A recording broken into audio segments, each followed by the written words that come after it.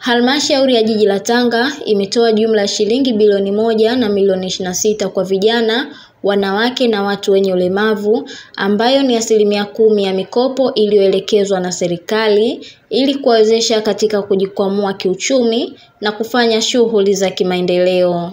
Akizungumza wakati wa utoaji wa mkopo, mstahiki meya wa Jiji la Tanga ambaye pia ndiyo mgeni rasmi katika shughuli hiyo iliyofanyika ukumbi wa shule ya ufundi Tanga ameitaka idara ya maendeleo ya jamii kwenda kusimamia wananchi hao kupata mikopo na kuhakikisha wanarejesha kwa wakati. Wafuate walipe walipo, uishi nao, ujifunze kutoka kwao, upange nao, uangalie fursa, ujadiliane nao na muwezeshane kiuchumi kulingana na maeneo walio na hali zao.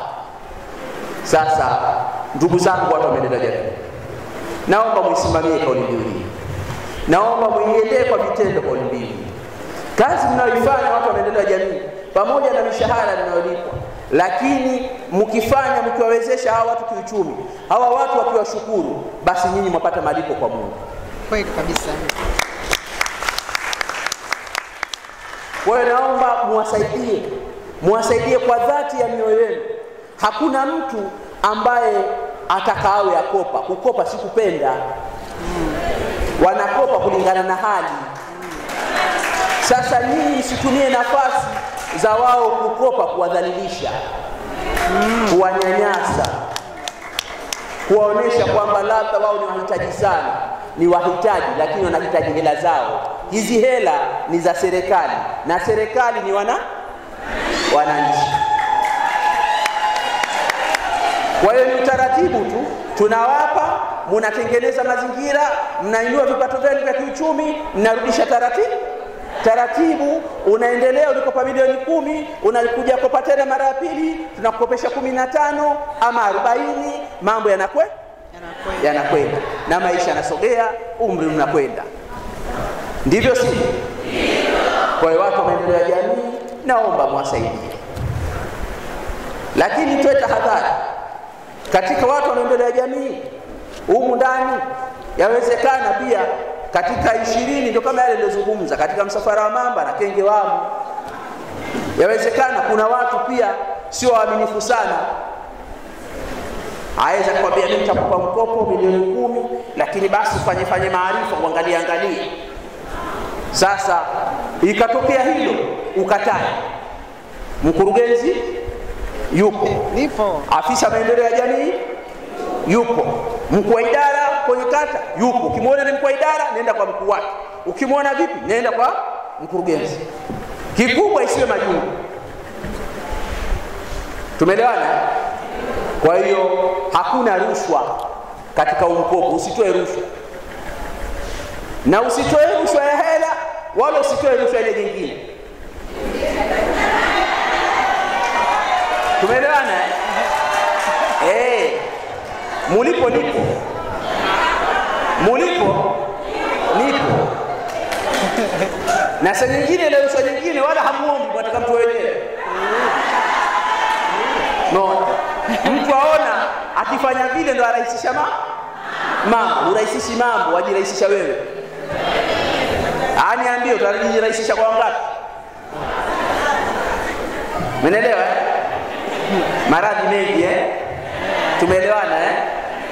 Na sisi mnaotuona wenye tabia za namna hiyo wengi hatuko vizuri eh? Sawa eh? Kwa hiyo linda heshima yako, linda utu wako, linda afya yako kwa maslahi mapana ya Jamhuri ya Muungano wa Tanzania. Aidha, mstahiki meya amewataka wanufaika hao kuwa wamoja katika kushirikiana kufanya biashara ili kuhakikisha wanarejesha fedha hizo, huku mkurugenzi wa halmashauri ya jiji la Tanga Dr. Sipora Liana amesema halmashauri inatekeleza utoaji wa asilimia kumi ya mikopo hiyo kama ilivyoagizwa. Fedha hii haina riba, lakini pia mkishapewa fedha mtapewa miezi hiyo mitatu, yaani ndani ya miezi mitatu muwe mnajipanga, unaweka mambo yako vizuri, alafu baada ya miezi mitatu sasa ndio utaanza kurudisha kidogo kidogo dogo, sawa eh? Eh, baada ya miezi mitatu utakuwa unarudisha hela hii sasa kidogodogo kwa mujibu mlivyokubaliana katika ule mkataba, sawa eh? na vikundi vile, huko watu watano, wengine watu sita, saba, muhakikishe mnashikamana. Waswahili wanasema umoja ndio nguvu, utengano ni udhaifu. Shirikianeni, kweni wamoja. Kama mwafanya biashara kwa pamoja, basi saa nyingine mmoja aumwa, wawili waumwa, nyinyi watatu shirikianeni, mhakikishe kwamba hela ya watu inarudi na muwe kitu kimoja. Na mkiona kuna mmoja na matatizo, basi na kama matatizo yenu yatakuchangia kuharibika kwa kikundi, mtoleeni taarifa mapema mapema. Sawa ndugu zangu eh? Mheshimiwa mgeni rasmi, Mheshimiwa mstahiki meya wa mikopo leo inayotolewa, wanawake watapata milioni 575, vijana milioni 395 na watu wenye ulemavu milioni 50.6. Jumla ni bilioni moja na milioni ishirini na laki sita. Lakini kama tunapoendelea hii awamu nyingine, kama itaingizwa kwenye mfumo vizuri, nako tutatoa zaidi ya bilioni moja tena, hata bilioni mbili hata tatu, zote tunazitenga. Kila mwezi tukikusanya asilimia kumi hapo tunachanganya na yale marejesho tunawapa mikopo. Kwa hiyo eh, Mheshimiwa mstahiki meya, halmashauri yako unaisimamia. Kwa kweli sisi tunatekeleza. Kama jinsi baraza la madiwani mnavyotuagiza, sisi tunatekeleza. Asilimia kumi kama ilivyo tunaitoa asilimia sabini inaenda kwenye miradi, asilimia kumi inaenda kwa kwenye mikopo na asilimia kumi inaenda kwenye barabara. Kwa hiyo tunatekeleza kama mnavyotuagiza na jinsi mnavyotusimamia. Kwa upande wake afisa vijana wa jiji la Tanga Fadhili Secha amesisitiza fedha hizo zikatumike kama ilivyokusudiwa. Siku ya leo ni mwendelezo wa zoezi la utoaji wa mikopo ya asilimia kumi inayotokana na asilimia kumi ya makusanyo ya jiji kwa maana ya nne kwa vijana, nne kwa kundi la kinamama na mbili kwa kundi la walemavu wenye ulemavu.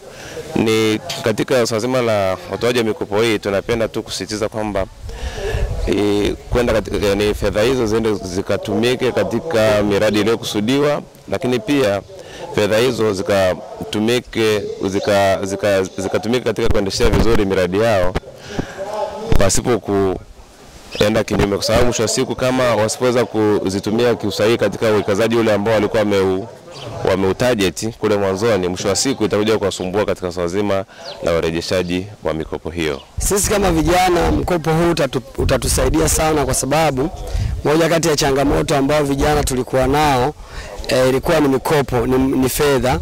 Ukizingatia pale tunalisha mikoa zaidi ya minne. E, tunapozungumzia mikoa minne tunazungumzia Unguja, Pemba pamoja na Komoro, lakini pia yako matunda ambayo tunafungasha kupeleka Dar es Salaam, na tatizo ambayo tulikuwa nalo hasa ni upande wa mitaji. Unakuta soko ni pana, lakini kutokana na sababu za kiuchumi unakuta tuna, tuna mitaji midogo. Kwa hiyo mkopo huu ambao tumeupewa leo utakuwa ni moja kati ya booster kubwa na utatusaidia kufanya mambo makubwa zaidi na zaidi. Tunamshukuru sana eh, rais wetu mpendwa Mama Samia. Changamoto ambayo inawakuta upande wa kina mama, kwanza, jambo la kwanza kabisa ni swala la mfumo.